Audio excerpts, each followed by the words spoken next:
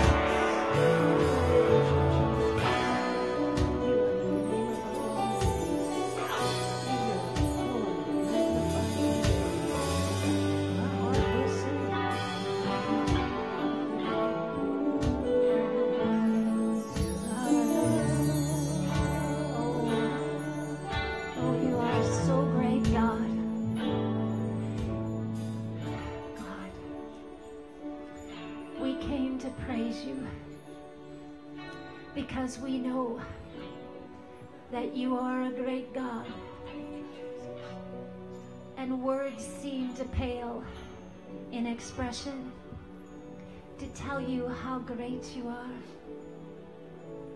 But Lord, I know all across this auditorium there were hearts split wide open in praise to you. And Lord, I just thank you. I thank you that we can worship you in spirit and in truth.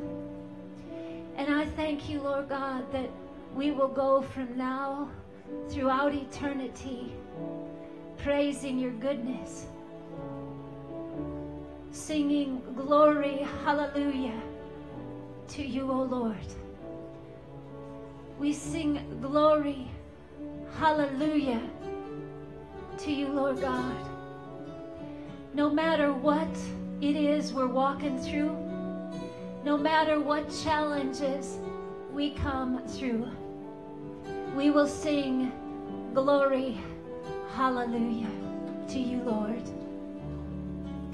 Glory, hallelujah to you, Lord God.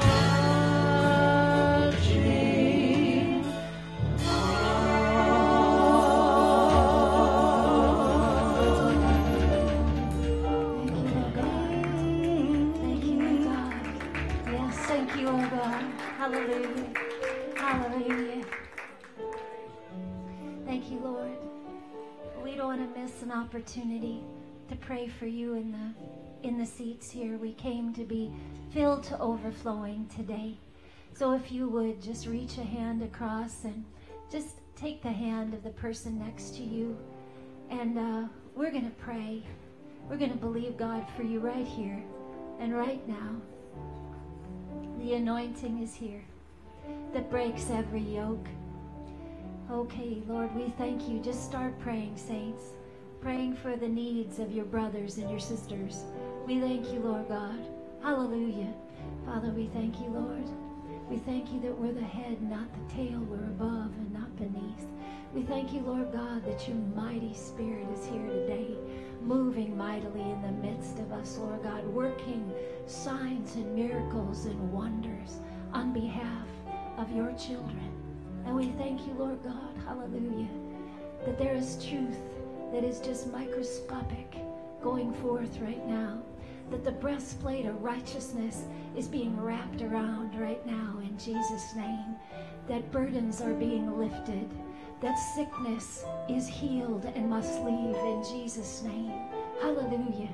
That anything that the enemy meant for destruction has been turned right now, turned, turned in an instant for his good for those who love and call upon his name.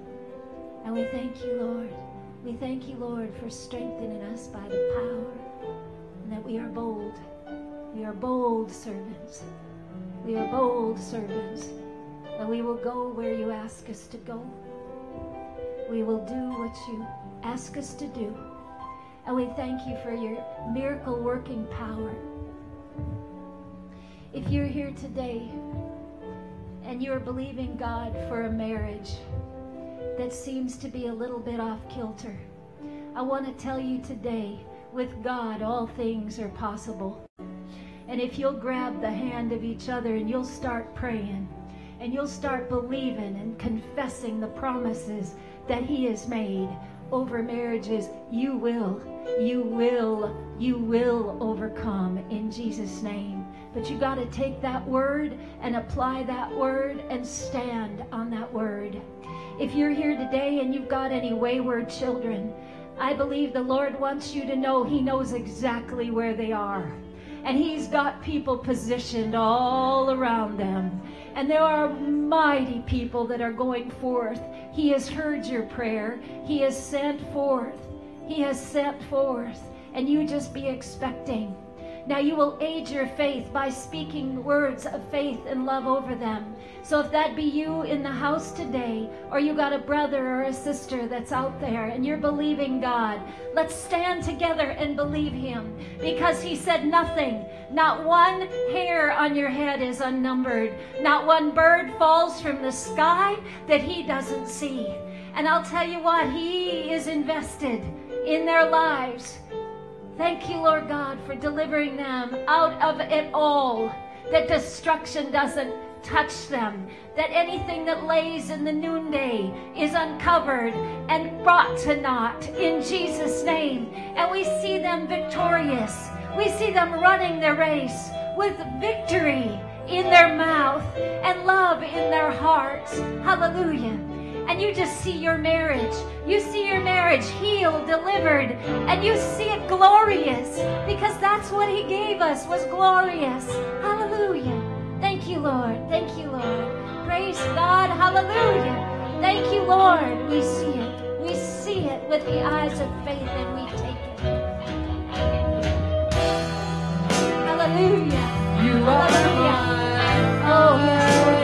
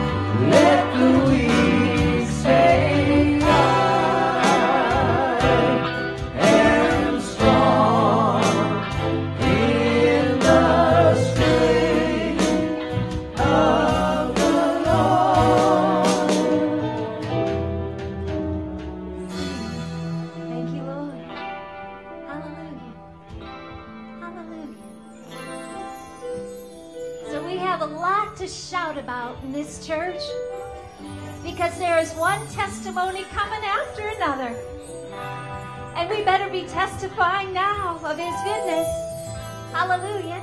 So thank you. The Lord is good. We're testifying of His goodness. We know people have been set free and we know people are healed and marriages have been turned around. And we thank you, Lord, for it. Hallelujah. Hallelujah. Hallelujah. Thank you, Lord. Hallelujah. You know what's so beautiful about the Lord? If we're not done praising Him, we're not going to stop praising Him today. Pastor John,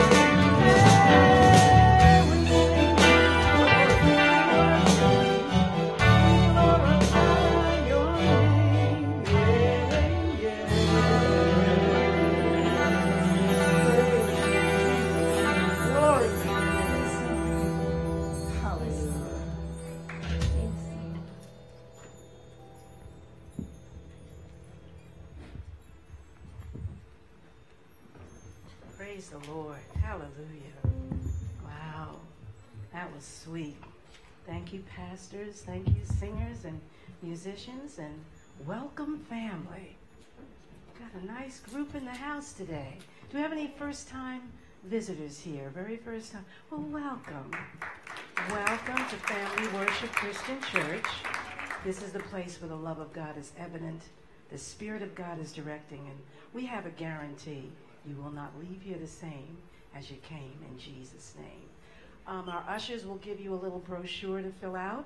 Um, when you finish the service, when you make sure to meet us in the bookstore, we have a gift for you. And um, just uh, remembrance of us, and if you want to keep coming back, come on back. We leave the light on for you, as Pastor John always says. This is family. Um, well, family, this is August, and um, Pastor D, you said I could do a little testimony because it kind of about the marriage thing. I was married to my sweet husband for 30 years till he went home to be with the Lord. And those 30 years was not always a bed of roses. As a matter of fact, the first five was a nightmare. It was like we were the road. Remember that movie, the, the War of the Roses, well, that was us.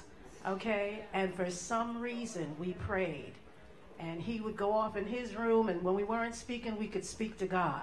And if God is not in the center of your marriage right now, make sure that he's there today before you leave. Because when you can't talk to each other, you can always talk to him. And sometimes it's better that you don't speak to each other, that you zip it, ladies, that you zip it and let the Lord deal with your husband. Okay? Because I had to learn that the hard way.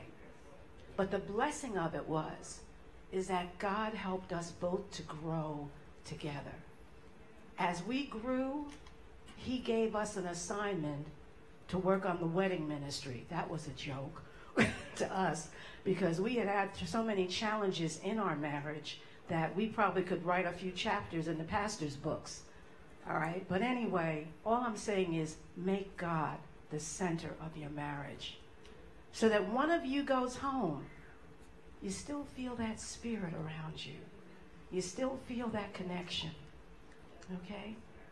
I had a prayer during my morning time, and my husband's been gone. It'll be two years this week.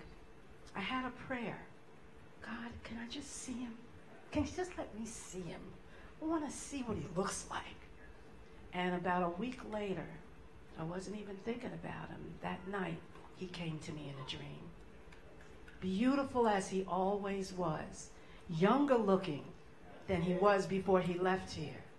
But I looked at him, I said, You're alive. And didn't they say that to Jesus? You're alive, but we saw you dead. All right, so when you ask God and you're obedient to God and you keep God in your marriage all the way through to the very end, He will give you the peace that passes all understanding. All right? And He'll just keep that spirit of love between you till you meet again in heaven. Amen? That's my little testimony. You know, there's more to it, but um, I'll just keep it going because I have this program that I have to read. If you did not pick up your brochure today, okay, if you did not pick up your brochure today, make sure that um, you do pick it up because our classes have resumed. The 9 o'clock morning class on First Thessalonians, they're in the fourth verse, um, has started at 9 a.m. Um, the WOW Bible study will begin this Wednesday at 10 a.m. Okay? Um, we have our healing prayer and um, healing school, as well as our prayer, will begin again on Monday. And of course, uh, on Wednesdays, we will have our women's meetings. And then, of course, we will have our men's fellowship and breakfast this coming Saturday, the 12th. And breakfast will be served, gentlemen, but so will the word go forth. So those are the things in your brochure. Make sure that you pick up a copy before you leave so that you know the times and dates and all the other future things that are going on. Amen. Well, for those of us that are keeping God first, and there's such a thing as prioritize, and you have to prioritize. Um, the Lord gave that word to me when we had um, a night with the King. We were here on a evening, a Friday evening, and um, he just said prioritize. And many of us put too many things as the priority the job, the money, the rent. Put him first. Everything else will fall in place. You know, no matter what you have, just put him first. So um, he's given you a church that is a wonderful church to be a member of, a wonderful church to be a part of, a wonderful ministry. And this ministry goes out into this community and blesses others. And as we open up our church home to welcome others in, we need the finances to keep it flowing. We need to keep the lights on, the air conditioning going, food on the table in the kitchen, as well as plates for you to, um, to eat off of. Amen? So, um, as Jesus said to us in John 14, 15, do what I've told you to do. If you love me, and just watch him work on your behalf. Money will come to you, things will come to you, apartments, houses will come to you without you even have to. He knows what you have need of, He knows what's ahead of you. Put Him first, make Him your priority. In Philippians 4 17, 19, it says, Not that I desire a gift, but I desire that fruit may abound in your account that I have all in abound I am full, having received of Epaphroditus the things which were sent from you, an odor, a sweet smell, a sacrifice, acceptable and well pleasing to God. Whatever we give, He's pleased with. But my God shall supply all of your need according to his riches and glory in Christ Jesus. So as you give, he's going to give to you. Now unto God and our Father be glory forever and ever. Amen. Think on that. That's a very true word from the Apostle Paul to us that we should think on him first. And as the Apostle Paul tried to start his ministry, and the ministry was having challenges with finances, his friend Apollos gave into the ministry. As, a, as Apostle Paul was the seed and planted the seed, Apollos watered the seed. So we're going to be watering our seed with our tithes and offerings so that this ministry can grow and continue to be a blessing to this community. When you came in today, there are envelopes at both entrances. If you have cash, we ask that you put the cash in the envelope. If you have checks and you um, have your name and address on it, you don't need to put an envelope in there. It's already got all of your information. But also, we have a debit card machine in the bookstore. So if you're used to paying your tithes or offerings with your bank card, we have accommodating you by having a bank card machine in the bookstore. And for those of you computer savvy folks, you haven't been left out. You can pay your tithes and offerings on LasVegasChurch.org. So this is a modern church. We're going to keep the finances flowing, keep the church growing, and keep being a blessing to Las Vegas. Amen? So why don't we all lift up our tithes and offering vehicles, whether it be bank cards or envelopes or checks or cash. God takes whatever you have and he blesses it. And let's thank him. Thank you, Father, for being such a blessing to us today, for giving us another opportunity to be a blessing to your ministry. We're your hands and feet, and we do as you ask us to do.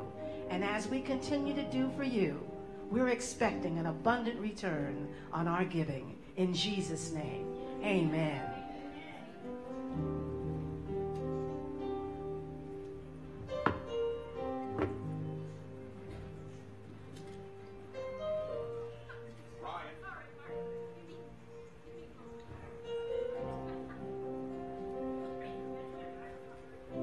Testing. Uh, Pastor's been preaching on the last days, and uh, I guess mostly from Revelation. You know, You- you're going to be speaking on that today, talking on that. Uh, and as he's been saying something, we'd like to anesthetize you before that. So this is a song I wrote quite a few years ago. This is the good part of Revelation, the fun part. Thank you.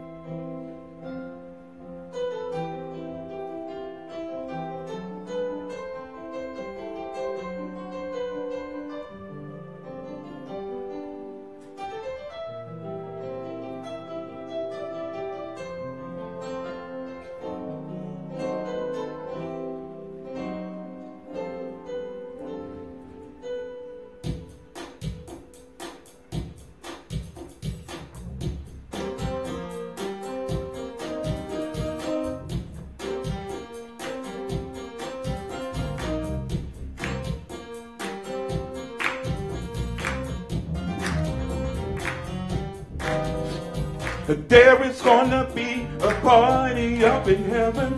Everyone's invited to go.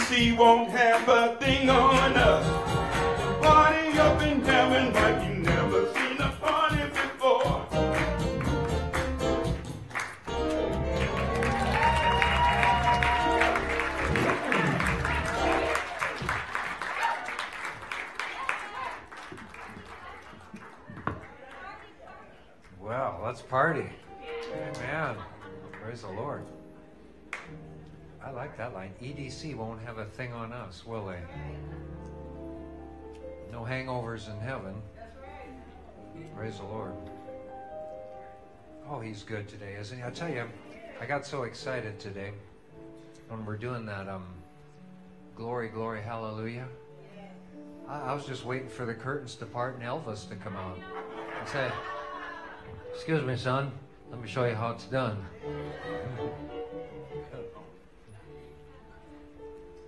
Amen.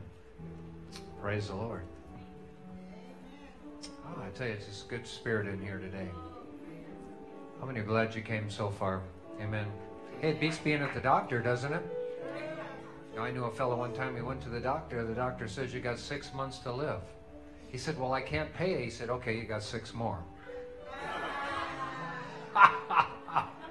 Amen.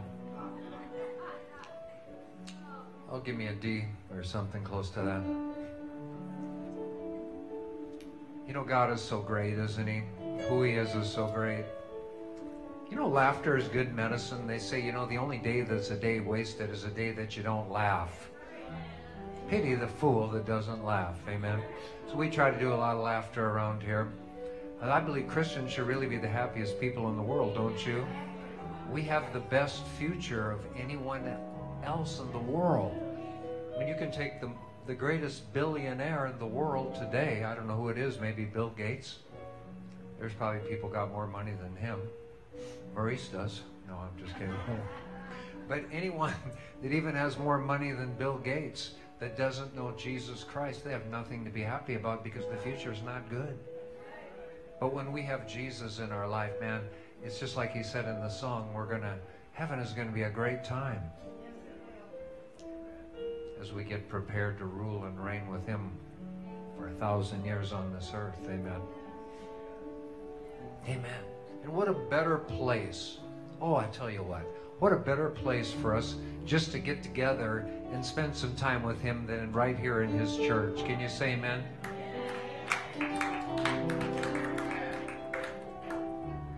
Some folks say, well, you know, I just can't wait till I get to, to heaven because, you know, it's just going to be me and Jesus. Well, you can correct me on this. I don't know if I've not seen this in the Word either way, but I'm not even sure in heaven that Jesus is going to be omnipresent. The only one omnipresent is the Holy Spirit. You know that. So that means you might have to share him with everybody else. Where do you think he's going to be? He can be right in his church, teaching sessions. We're going to be worshiping him, ad- adoring him. So I always like to say this, you know, if you don't like going to church on earth, why would you want to go to heaven? Because it seems like heaven is going to be one long church service, and the main speaker is going to be Jesus Christ himself, and we are going to give adoration to him. Amen. Thank you, Lord. Thank you for that enthusiasm out there. I appreciate that. Amen. I'll tell you. Jesus said, you know, that he would build his church and the gates of hell would not prevail against him. Amen. Well, you know, some folks would say, well, you know, I just don't believe in organized religion. Well, Jesus believes in his church. Amen.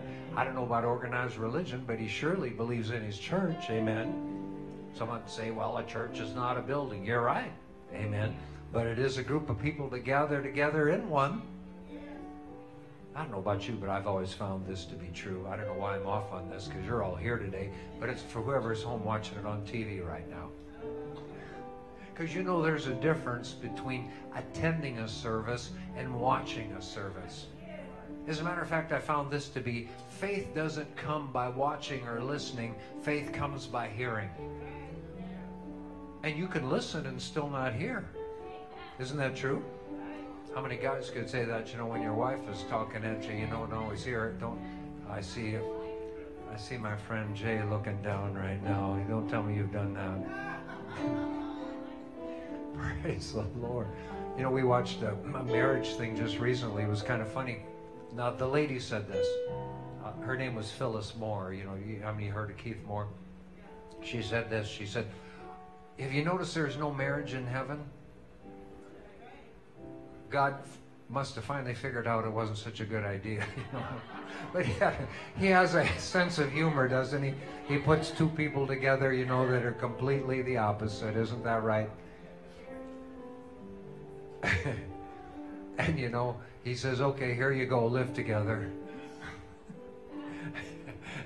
And, isn't it amazing when you live with somebody completely your opposite? It tends to reveal the areas of your flesh that are unredeemed, doesn't it? Amen. We won't go too deep into that. We all got to go home. How many can say that's true, gentlemen? Amen. Jay's saying, please stop, Pastor John. Stop right now.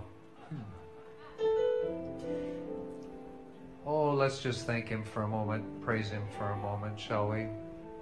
Is that all right? There's just such a spirit in here today of praise and worship and adoration to him. We sing that song, you know, how great is our God. And it's like there's just nothing else like him, is there? There's no one else like him. In all in heaven, you know, the, the years that we're there, it's going to be just awesome.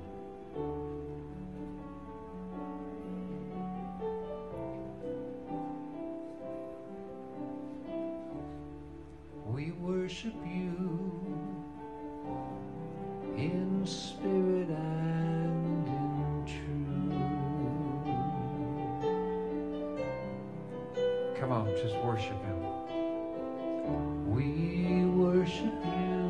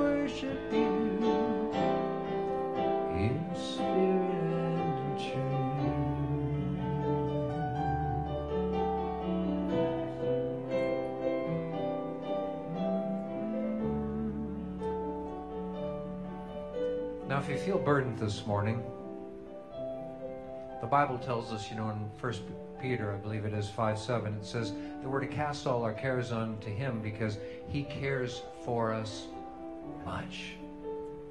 So if you can see yourself today doing this, I think it will help you. But you remember when you, well, I don't know, they don't do it anymore, but when I grew up, you remember when they used to have tin foil balls? You never threw tin foil away, did you, when you were because after all, they might not make any more of it. So if you can see yourself this morning taping all your cares to one of those little tin foil balls, crinkling it up, and then just tossing it to Jesus. Because the Bible says we're to cast all our cares onto Him because He cares much for us. I'm telling you, Christians shouldn't have a care in the world because they all belong to Jesus. Amen. Thank you, Lord. We've been talking a little bit about the subject of the end times. We realize, of course, that we're not approaching them, we're already in them. And I believe it's Second Timothy chapter 3. We could look at that today. Verse 4. Well, let's just start with verse 1 for those that haven't been with us the whole service. He says, Know this, that in the last days perilous times are going to come, right? So we've talked about the meaning of these words. We'll not go back on that, but you can actually rewatch the services if you like, if you want to know the meaning of some of these Greek words. But it said men is going to be lovers of themselves, lovers of money, boasters, proud, blasphemers, disobedient to parents, unthankful, unholy. We're, of course, seeing all these things. Go ahead if you would. He says, without natural affection, truce breakers, false accusers, incontinent, fierce, despisers of those that are good. Let's look at the next verse if we could. Then he says, traitors, and last week we left off on the word heady. Does anyone remember what that word means? It means, you know, all sorts of violence taking place. We live in a very violent society, in a very violent world, don't we? You know, you can see violence taking place. It's it's very evident in this city. You know, there's all sorts of road rage that takes place here. So we have to believe God for safety, isn't that true? And so there's lots of violence happening, but I want you to notice the word today, and we're going to look at that for a moment. It's the word high minded. The word high minded. Now, the word high minded is actually a translation of the Greek word, and it's the word typhu. Typhu. Okay? And it's actually where we get the word typhoon. Has anyone ever been out in a typhoon before? Let me see your hands. Anybody? Hey, we've seen a few folks, you know. Those that were in the Navy, maybe, were out there in a typhoon. I guess if you're going to be in a typhoon, it's better be in a ship than a boat, isn't that right? Or a canoe. Would you like to maneuver some of those waves? But it, when a typhoon comes, it covers the entire landscape and arrives with very destructive winds. You know, sort of like a hurricane. And as it approaches, the sky looks ominous and foreboding. It turns very dark and very turbulent. But when the storm arrives on shore, everything in close proximity is affected except for those who fled from the storm or took adequate shelter. Oh, thank God he's our shelter. Jesus is our shelter. Now, someone said, well, yeah, but Pastor John, didn't it say that it rains on the just and the unjust? Well, it does, but you don't have to be out in it.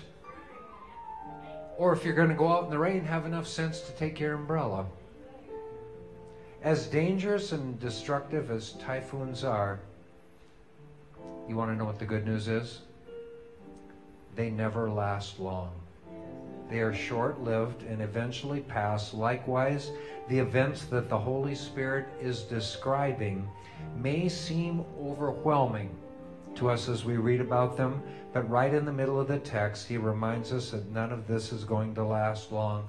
Just as the typhoon passes quickly, these events will also pass.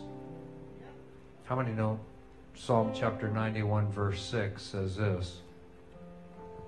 Psalm 91, 6 says, Nor of the pestilence that walks in darkness, nor of the destruction that lays waste at midday. Ah, there's all kinds of destruction going on. But thank God that he that dwells in the secret place of the Most High shall abide under the shadow of the Almighty. Now, that verse should say a lot to us that live out in the desert because we're always looking for a shadow. I always find it very humorous, you know, in a parking lot when you see everybody fighting over the spot where there's a tree about this tall just to get about that much shadow under your steering wheel or your hood, thinking it's really going to help you. But man, we just have this on the inside of us. We have this inclination or whatever it is to seek shelter when the storm is coming. Well, there's a storm that's coming and there's a storm that's here. Let us seek shelter in the Lord Jesus Christ. Amen. Now, an interpretive translation of 2 Timothy chapter 3 verse 4 could actually read this. Are you ready? People will be preoccupied with and known for their violence, but all of this will pass. Just as a storm appears on the horizon and brings destruction with it, these violent winds in society will not last long. As threatening as it may look, it will pass just as surely as storms always pass. There's actually a song out there. I believe the title of it is this Every storm runs out of rain. Isn't that true? And the storm that this world is facing right now will eventually run out of rain. But let me tell you what, Jesus will still be standing. And those of us that are with him will be standing in him. Can you say amen today? Now, 2 Peter chapter 2 verse 8 2 Peter chapter 2 verse 8 says this. It says, For that righteous man dwelling among them tormented his righteousness, righteous soul from day to day by seeing and hearing their lawless deeds. Now, the word here actually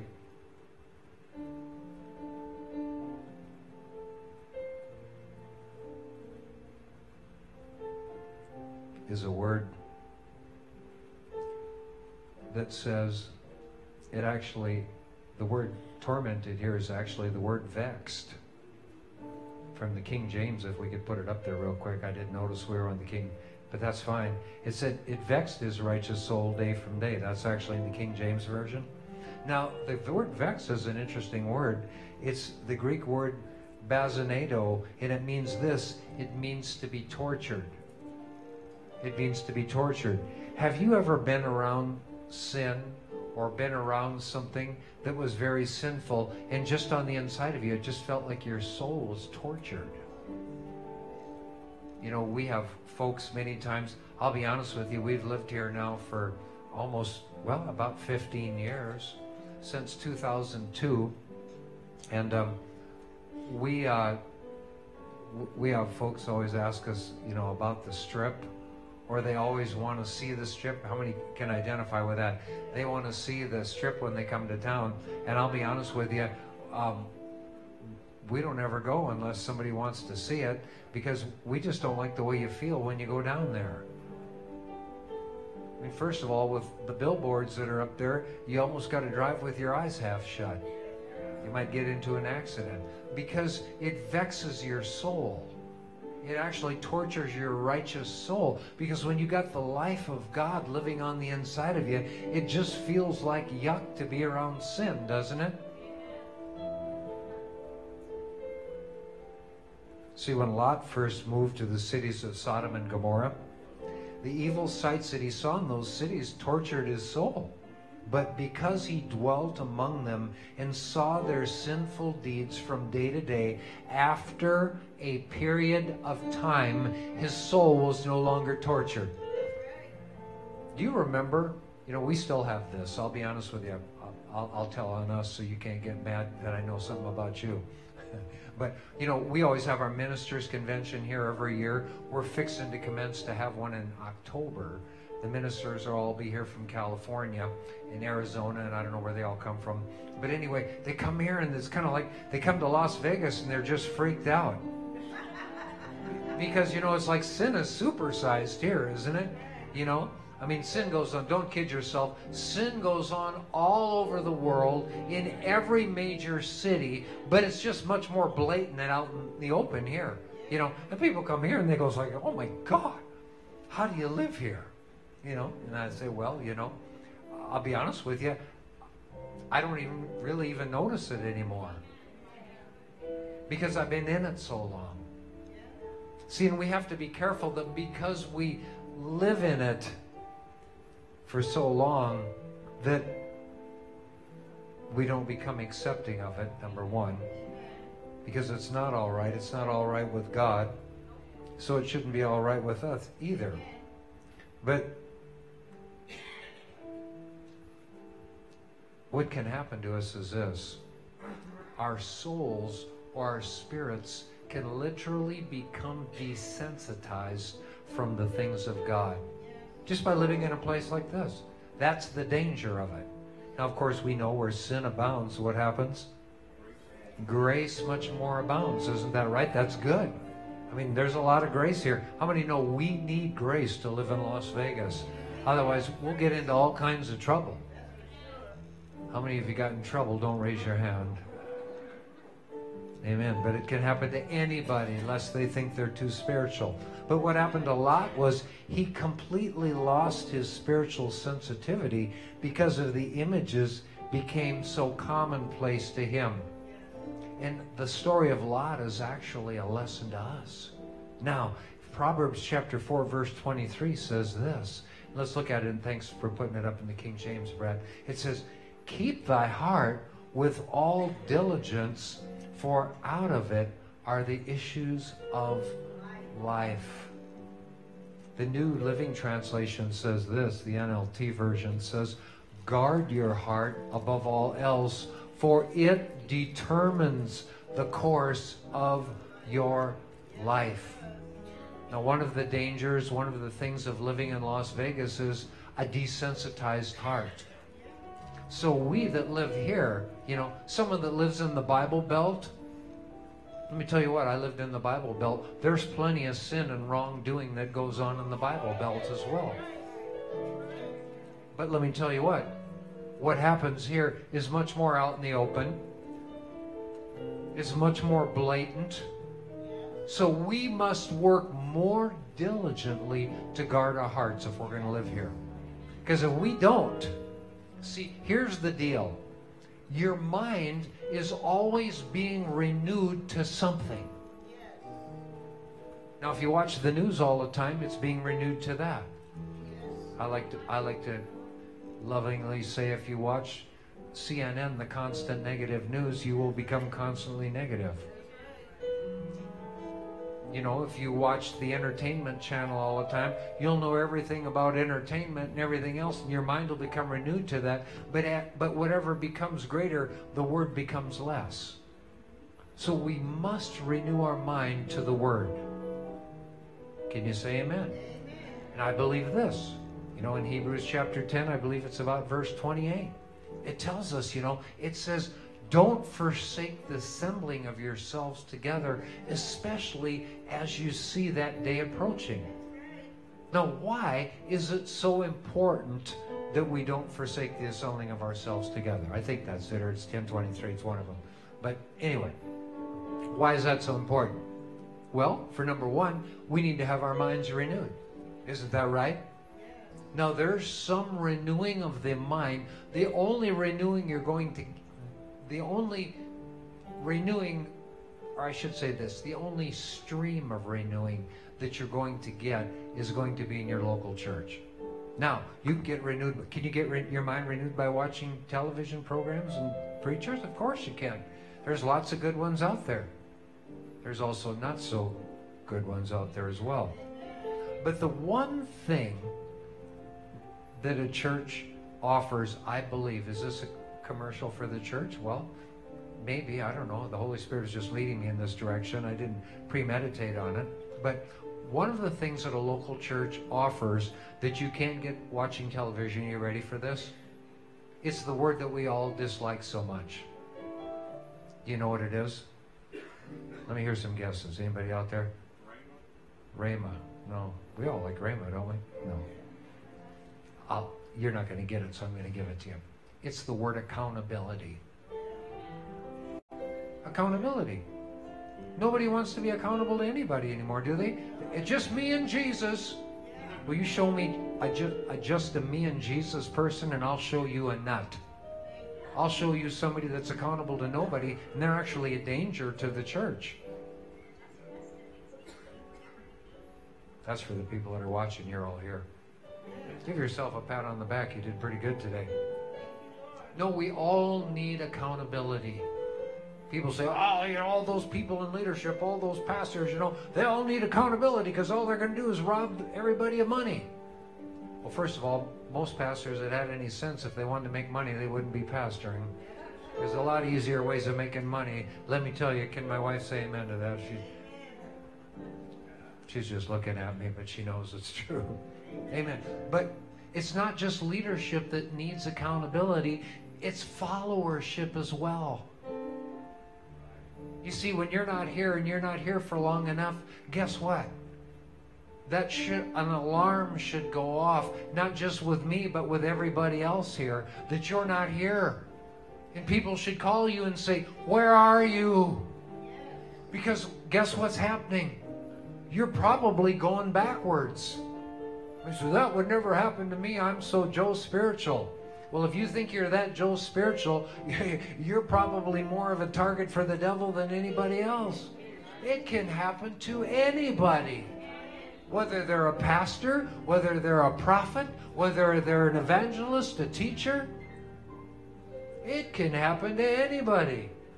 So, one of the reasons why we all need each other, and that's why, you know, you don't get a lot of accountability in a big church. Because in a big church, you, know, you can just kind of squeak in, sit down. Nobody knows if you're there. Nobody really cares. You get up, you leave, you go back to living like the world again and fornicating and committing adultery. Nobody knows. But you come into a church like this, and you hear a message like that, and it's going to kind of make you feel uncomfortable. And you know, I found this sin should make us feel uncomfortable. If you're going to a church that sin doesn't make you feel comfortable, you're going to the wrong church. Now, I've also, you know, we, we don't try to rip on anybody because, you know, every one of us need Jesus. We've all sinned. I say, well, I didn't sin this week. Oh, yeah? You want me to get into it with you? Want me to show you what a liar you really are? I just did. You lied. Because you all sinned, right? You all had an impure thought this week, didn't you? Everybody but me. And if I really meant that, I'd have to repent to you for lying right now. Isn't that true? Come on, y'all said something you shouldn't have said. Isn't that right? Y'all thought something you shouldn't have thought. Y'all said something you shouldn't have said. Y'all did something you shouldn't have did. Come on. You might as well say amen. It's so. So we need accountability amongst us all. In a church like this, you can have accountability here. Now, I've, I've, I've had this happen to me before. Have you ever had this happen to you before? You know, you've known someone that is stumbling in an area, so you lovingly bring that to their attention, and they respond to you by saying this Only God can judge me. I'd like, you know, have you ever seen that tattoo? Only God can judge me. I've seen that on a few people. I'd like to say you should reword that. Only God will judge you because He is going to judge you. And the thing is, here's the good news. There's always good news. The gospel is good news. If we will judge ourselves while we are here, when we get there, we will not be judged. Well, I thought God was going to judge me for everything bad I did. Well, He's not going to judge you for everything bad you did if you will judge yourself here. Then it's like, you know, if you ask forgiveness, what happens? He assigns it to the sea of forgetfulness. He says, I will know, remember no more. So if he said he will not, that means he cannot. Because he said he won't, he can. Amen. So, you know, we like to lovingly say, when God assigns your sins to the sea of forgetfulness, don't go scuba diving for them. Now, that's good news, isn't it? Might say, why are you saying all that, Pastor John? because someone needs to hear that this morning. We all need accountability. We all need each other. A body needs each other. Can you say that with me today? A body needs each other. You might say, well, you know what? I don't need that person in the body. I don't even like him. Well, what are you going to do when we get to heaven? You're, you're, you're going to, you know, you may be roomies with them. I think the Lord has a sense of humor, don't you? If you don't get it right on earth, well, God's going to give me a mansion. Now he'll probably give you a dormitory. And it'll be filled with people you don't like.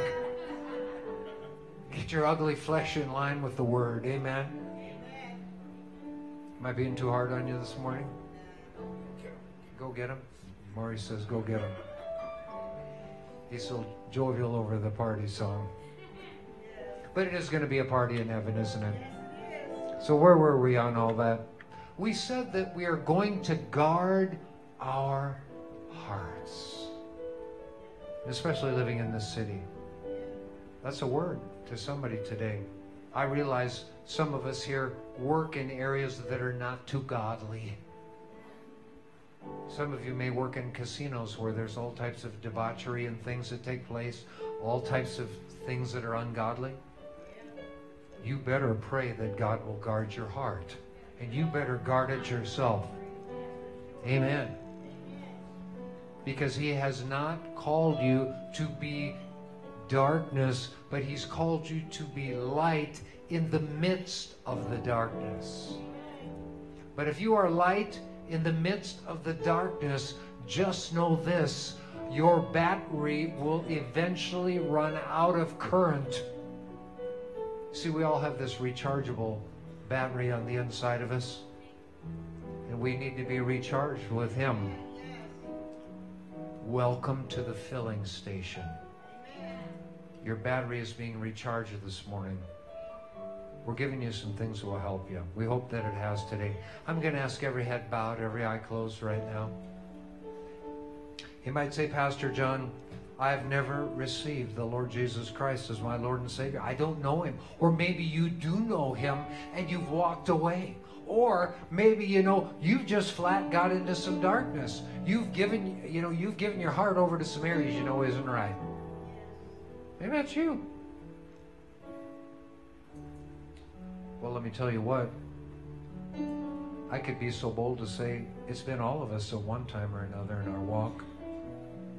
But the good news is you can take a thousand steps away, but it's only one step back. Says if we'll call on him, he's right there to help us.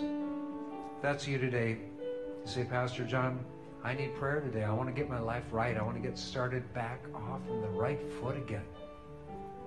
Anyone here today? Could I see your hand? I want to pray with you. Not, we'll rejoice with you. We will. Looks like everybody here is in right standing with him. That's cool.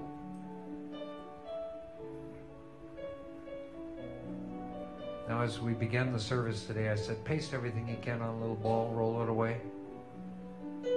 But I found this, you know, that when we give something or roll something to Him, we must take something in to replace it. The Bible tells us, you know, that we're to be filled with the Spirit or be being filled. If you can envision this morning, this very room is filled with angels. The Holy Spirit is thick in here this morning. And if you can see yourself literally taking a breath, and that breath being the breath of God Himself, the breath of the Holy Spirit. Take that in this morning. Allow it to replace those cares. Cares. Allow it to replace those worries.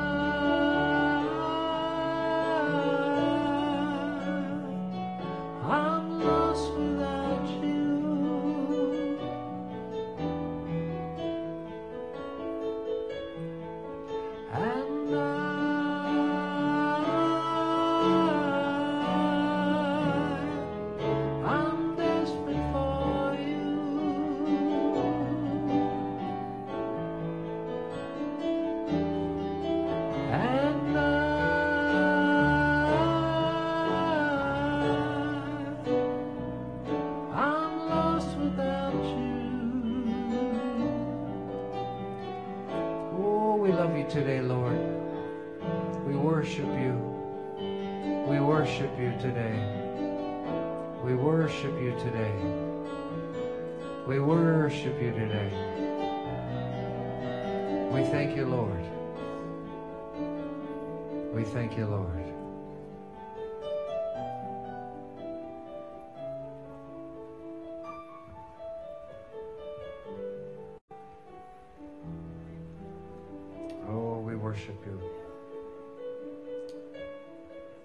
Him today? Is he everything to you? He is like everything. He's my everything. He's my all in all. My you name it, he's it.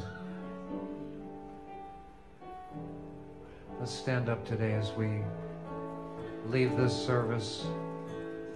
Grab hands the next somebody with you today.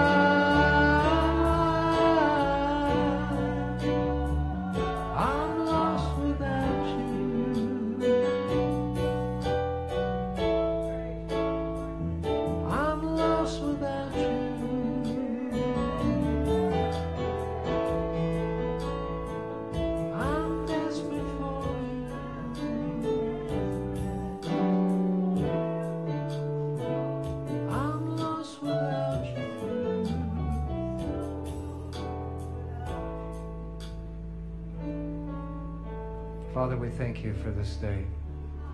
We thank you for this opportunity today. I bind this word to everyone's hearts today. Help us, Lord. We know you're the helper, so we ask for your help. We guard our hearts this week. We guard our minds. We ask you to continue to help us to do what's right. Be a pleasing child to you. We pray in Jesus' name. Amen. We are the champions,